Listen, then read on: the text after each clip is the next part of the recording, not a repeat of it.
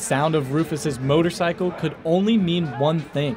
The Bobcats are rolling into the new season. But tonight, Ohio played for its Bobcat. OU hoped to give Rufus a birthday present with a Week 1 victory over the Florida Atlantic Owls.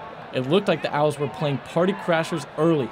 Miami transferred N'Kosi Perry drops a dime into the outstretched arms of Je'Quan Burton as FAU leaped out to a 7 0 lead but this felt like a new Bobcat team who was always ready to throw the counter. After a pair of field goals, redshirt junior Kurtis Rourke finds his man Sam Wiglusz over the middle as the Bobcats knotted up at 10. Head coach Tim Albin was thrilled with the leap Rourke took tonight. And so you just could just tell in the conversations, good or bad, that he is um, going to take off. So we're very excited with his play along with many others. In 2021, one of the biggest problems for the Bobcats was finding the big play. But tonight, quarterback Kurtis Rourke had no trouble doing that. He opened up the field for the Bobcats for huge chunks of yards. And for Rourke, he said it came down to trusting his teammates and trusting himself.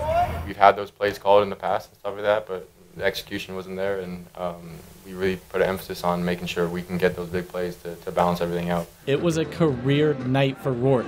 The Maple Missile torched the Owls for 345 yards and four touchdowns. Two of those TDs came in the third quarter as the Bobcats played their best ball in those 15 minutes to take a 27 17 lead into the fourth. You make your biggest jump from your first game to your second game.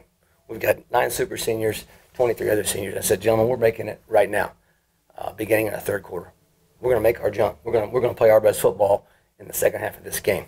Perry was desperately trying to keep FAU in this one, storming back to cut the Bobcats' lead down to three. But the Owls had one more chance to make things interesting. Fourth and 10, but Roman Parodie was there to break it up, and the Bobcats make a statement with a 41 38 victory. For Bobcat Showcase, Week one dub, let's go. I'm Aiden Crowley.